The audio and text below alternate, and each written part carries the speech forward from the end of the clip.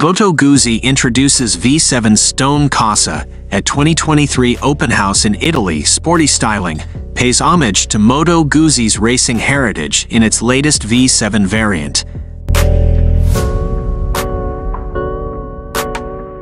This is the Moto Guzzi V7 Stone Corsa, the newest addition to the V7 family.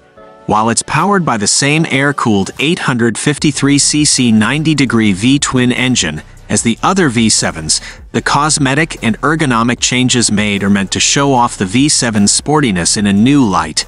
Since the company brought back its Fast Endurance Trophy earlier in 2023, this development makes a ton of sense on Guzzi's part.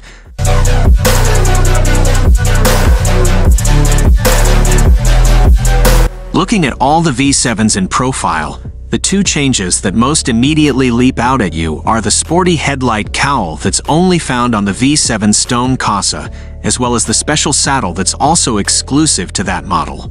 The shape of the cowl, finished in red and silver, and holding a small, clear windscreen in place, instantly gives the V7 a sportier look than when that round headlight is left to its own stylistic devices.